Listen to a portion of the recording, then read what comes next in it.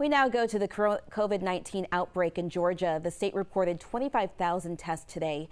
That's nearly twice as many tests as the past two days.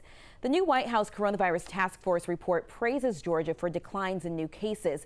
However, they emphasize more testing is needed to get a better picture of exactly what's going on.